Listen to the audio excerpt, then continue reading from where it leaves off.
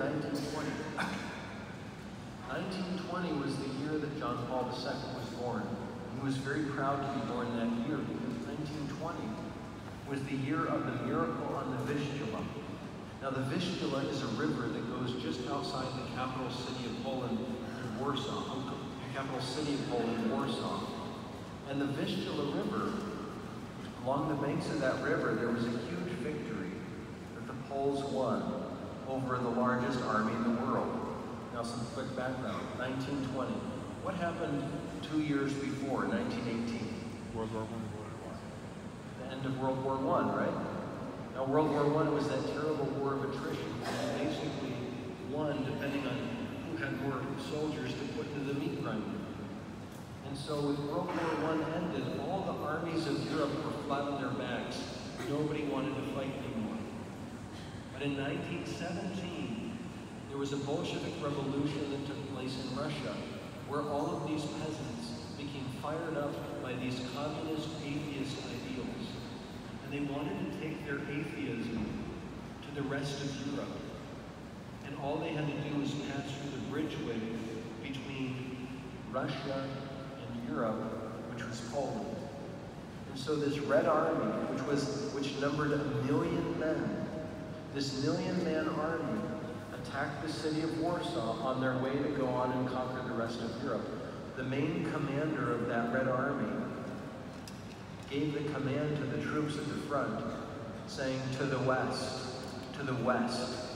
Over the corpse of Poland lies the roadway for worldwide conflagration. And so they wanted to take the city of, sorry, I said Vienna before, probably, Warsaw, then go on and conquer the rest of Christian Europe. Now, as they were attacking, that's Marshal Josef Pilsudski, as they were attacking the city of Warsaw, the head of the Polish army, Marshal Josef Pilsudski, in a daring move, attacked one of the flanks of that million-man army, and miraculously was successful.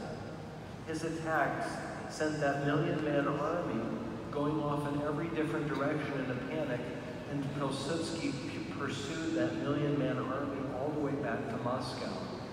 The British ambassador in Berlin, who got word of the victory, said if it were not for the Polish army, all of Western civilization would have seen a terrible downturn.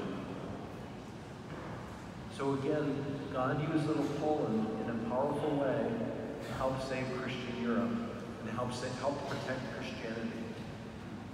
Now, that was the year 1920. Let's fast forward to another year some of us will remember. It's the year 1989. What happened in 1989? What was the big iconic moment that everybody remembers in 1989? The collapse of the Berlin Wall, right? And that began the collapse of the Soviet Union, right? Wrong. That wasn't the beginning. The beginning actually took place in the Gdańsk shipyards of Poland.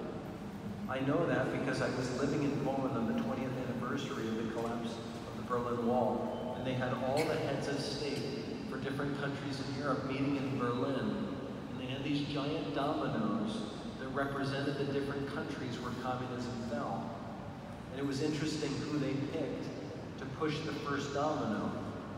It was Lech Wałęsa, the head of the Solidarity labor movement, and was, which was also supported by John Paul, because the people knew that it was it all started again in Poland.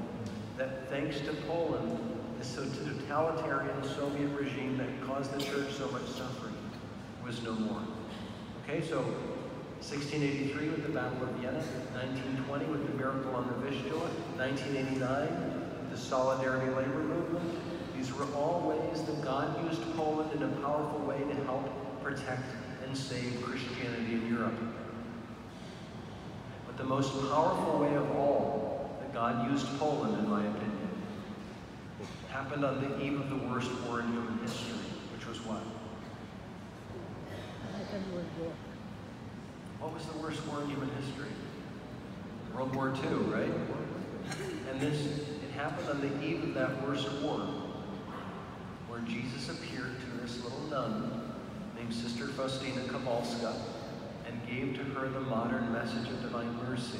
Again, not a new gospel, but a message that brings us back to the heart of the gospel, which is what?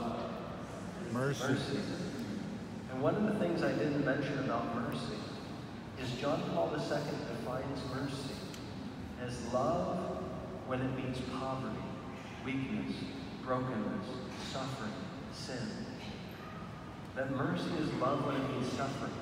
So on the eve of the worst war in human history, in the place that would suffer the worst, Jesus gave this message of divine mercy through Faustina, this message of hope, this message of God's presence, this message of God's love in the midst of suffering. If you see in the image of divine mercy, you notice how there's a black background?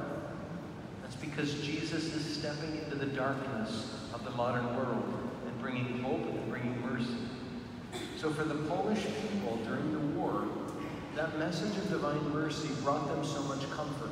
In fact, a lot of the Polish soldiers would sew images of divine mercy into their uniforms. People would put the image of divine mercy up in their homes.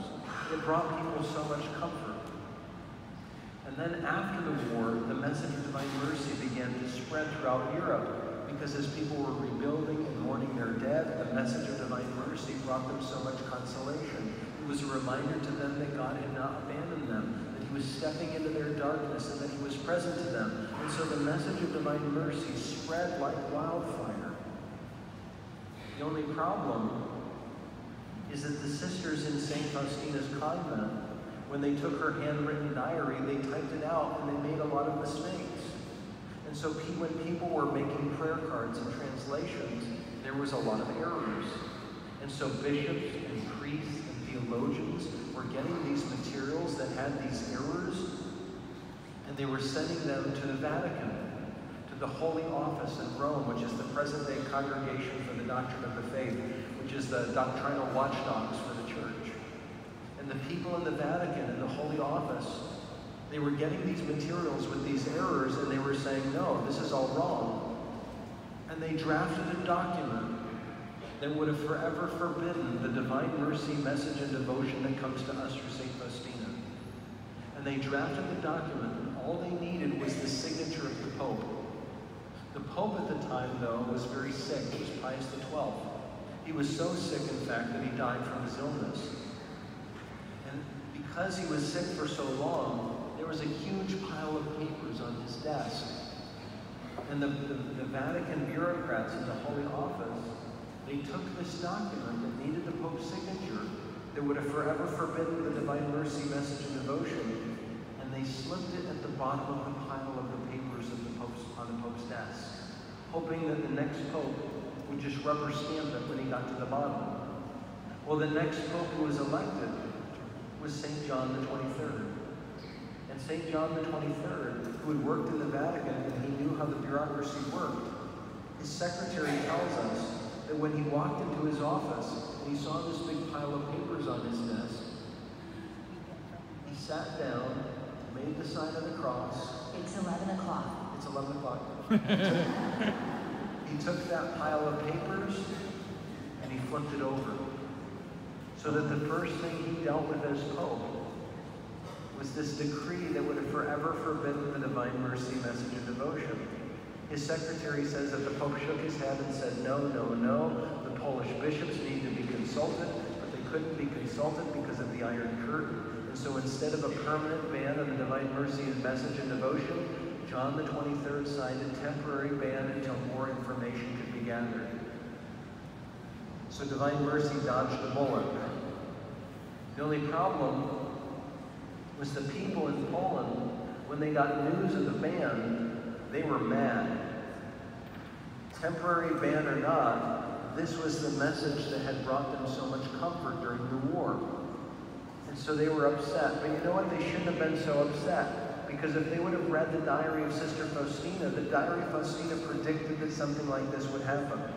Jesus told Faustina, there will come a time when this work of mercy will seem to be completely undone. Then I will act with power and it will become a new light for the church. But then there was something else in the diary of Faustina that alluded to something even greater.